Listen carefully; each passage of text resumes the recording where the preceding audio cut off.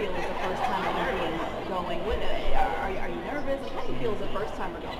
Well, I'm just excited. Um, I'm, I'm so excited to rep my country and my team and uh, to be with friends and uh, people that I know so well that I think it's just more excitement than nerves. Has anyone given you, any veteran Olympians given you any advice as you get ready to go?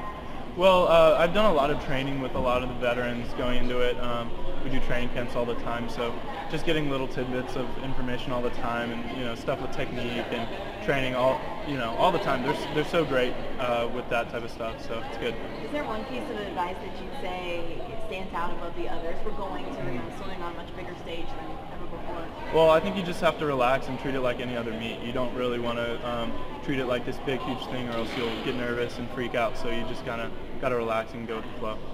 And then finally, I know that people want to talk to you too. I know you were born in '96, which is when the Olympics were here in Atlanta, Yep. and you were born here in Atlanta. Yeah. So what would you say the Olympic bug officially you? Uh, well, I started competitively swimming at 11, and uh, I think ever since then, you know, being an Olympian is every kid's goal, and, and swimming it's such a big thing. So I think ever since then, I, I always want to be an Olympian. Anything else you want to add here? I don't think so. All right, thank you. Thank you. Hey, go.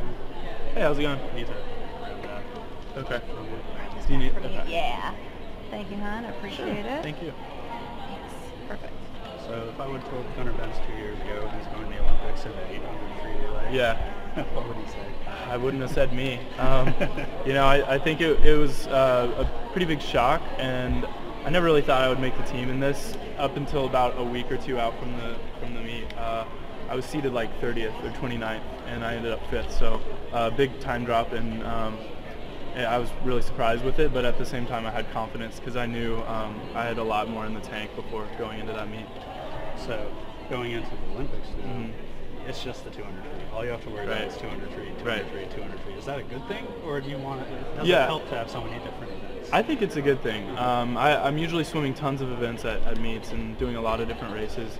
Um, and going in doing this race, which is arguably not my best race, uh, I think it takes a lot of pressure off, and it really helps me kind of just relax and focus on um, helping our relay team get a gold medal.